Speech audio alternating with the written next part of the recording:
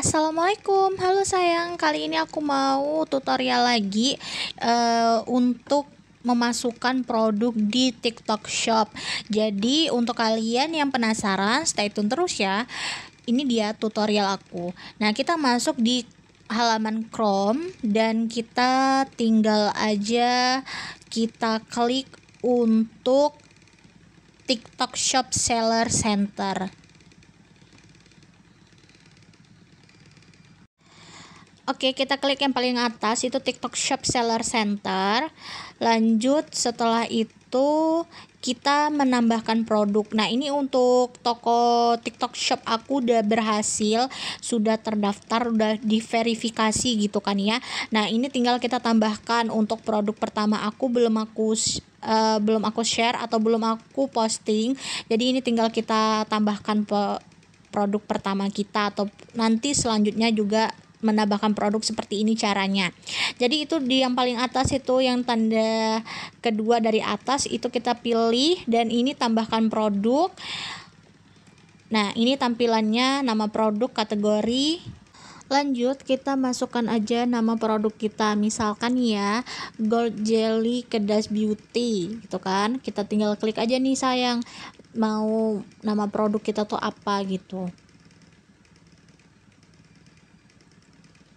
Oke, nih sayang kita klik paling atas itu titik tiga, lalu kita pilih situs desktop agar melihat tampilan layar kita tuh lebih penuh gitu kan ya, seperti tampilan di desktop. Dan ini udah terlihat seperti tampilan di desktop. Jadi mempermudah kita gitu kan. Kita tulis lagi nama produk yang akan kita posting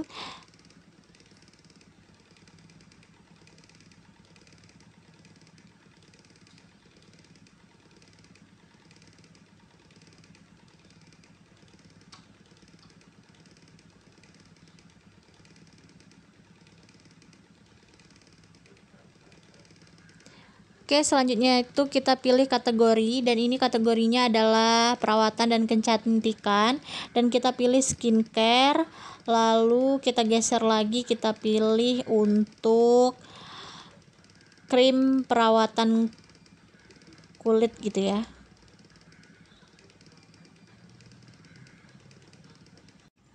karena nggak ada pilihan krim wajah gitu ya kita pilih aja moisturizer dan mist gitu Nah, ini udah terpilih. Lalu kita geser lagi, kita lebih kecilkan lagi layarnya. Kita lanjut untuk informasi dasar dan lain-lain itu deskripsi produk juga bisa. Nah, kalau untuk menambahkan merek, ini kebetulan uh, aku cari untuk merek Kedas Beauty gitu kan ya. Nih, seperti ini. Lalu kita isi deskripsi produk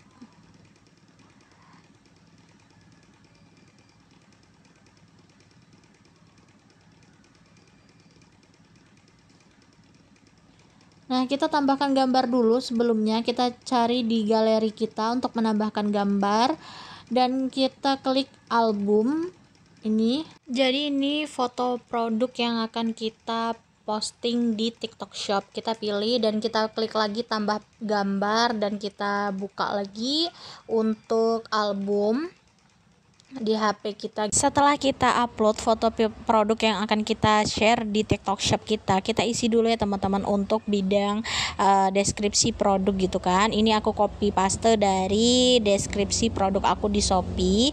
Nih, aku hapus dulu toko Shopee aku tuh yaitu All Shop Seldam ya. Nah, ini udah terisi dan kita pilih klik video, unggah video untuk rincian produk kita. Kita pilih dari galeri kita sendiri. Nah, gitu kita tinggal pilih dari galeri kita sendiri ini langsung aku pilih video yang mau aku upload di TikTok Shop.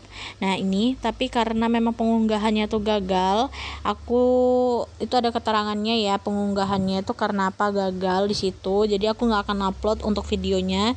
Jadi untuk teman-teman bisa upload kalau kalian bisa uh, selesai gitu ya penguploadannya bisa banget diupload untuk video gitu. Selanjutnya kita masukkan untuk berat paket kita berapa dan ini pilihannya untuk berat paket kita pilih satu kilo gitu ya karena memang ini satuannya untuk kilo gitu.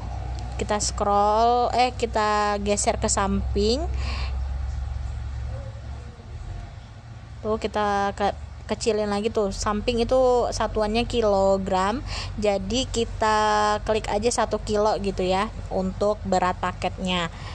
Ya sebenarnya belum sampai satu kilo tapi kita pilih aja satu kilo gitu berat paketnya. Nah untuk dimensi paketnya ini aku nggak tahu berapa senti berapa sentinya karena ini kan memang produk skincare gitu kan ya langkah selanjutnya kita masukkan masa garansi nih teman-teman. Jadi untuk masa garansinya kalau kayak produk kosmetik yang aku jual ini skincare yang aku jual ini Kedas Beauty itu 2 tahun gitu ya misalkan. Nah eh, kebijakan garansinya itu nggak perlu diisi nggak apa-apa opsional di situ. Dan kita aktifkan bayar di tempat iya kita klik aja kursor di situ kan untuk bayar di tempat aktif dan lain-lain. Itu untuk vari variasi warna kita nggak usah cantumkan karena memang kan tidak ada variasi warna ya. Itu khusus untuk yang berjualan produk-produk fashion gitu kan. Nah, ini kita pilih paling bawah itu klik simpan, kita tunggu nih lagi berjalan, klik simpan. Oke teman-teman jadi selanjutnya karena ini produk yang udah kita upload tadi itu belum bisa terlihat yang harus kita lakukan adalah unggah dokumen tuh yang paling atas. Kita klik aja unggah dokumen untuk verifikasi dokumen TikTok shop kita gitu ya. Dan ini informasi penjual karena kita memang bisnis online berarti kita kan bisnis perorangan ya. Nah kita klik aja dan nama toko nih. Nama toko klik nama toko kalian. Kalau aku sih necktime.id nah terus lanjut KTP itu aku verifikasinya pakai KTP dan bisa juga pakai paspor ya kalau kalian punya. Dan ini ke langsung muncul dong tidak boleh ada karakter titik gitu ataupun karakter dot gitu kan necktime.id atau apa. Kita pilih aja hapus untuk tanda titiknya kita pilih necktime ID aja gitu. Dan ini kita verifikasi KTP kita setelah kita masukkan foto KTP, nik dan nama di KTP kita, kita pilih saja itu untuk klik disimpan dan ini kita tunggu verifikasinya lewat email kita ya teman-teman. Jadi kalau misalkan dokumen kita tuh sudah terverifikasi, kita akan dapatkan email yang sesuai dengan yang kita daftarkan di TikTok Shop kita ini gitu kan ya, di TikTok Seller Center kita. Nah, jadi ditunggu aja teman-teman untuk verifikasi verifikasinya Alhamdulillah banget teman-teman. Aku baru ngecek email aku bahwasannya 9 menit yang lalu barusan aku buat gitu kan tutorialnya tadi untuk menunggu verifikasi dari TikTok gitu. Untuk mensetujui kita berjualan di TikTok udah terverifikasi. Jadi sudah dikirimkan email dari TikTok ke email aku gitu kan ya. Dan ini aku lagi ngecek nih teman-teman kalau uh, produk kita itu sudah bisa dilihat oleh customer. Nah, ini contohnya ya, kita klik aja dari atas itu logo atas itu yang kedua itu kan produk. Nah, itu sudah ada tulisan diterbitkan bahwa bahwasannya ya berarti kita sudah terverifikasi gitu. Produk yang kita jual sudah di tampilkan di TikTok Shop kita. Jadi untuk customer bisa ngeliat uh, produk yang kita jual gitu, teman-teman ya yang atas itu tautkan rekening bank jadi kita klik aja. Dan untuk itu kita tunggu. Nah ini untuk verifikasi rekening bank kita nomor rekening dan lain-lain. Uh, ini aku pakai BCA ya teman-teman tuh. Untuk yang nama rekening dan lain-lain itu kalian sesuaikan aja uh, bank yang kalian pakai jadi kita isi nih nama rekening dan nomor rekening kita bank apa yang kita pakai dan alamat kita ya teman-teman ya. Diisi aja. Dan ini kita harus uh, verifikasi apakah benar data yang kita masukkan tersebut. Itu benar oke okay, kita klik oke. Okay. dan kita klik di bawah itu simpan.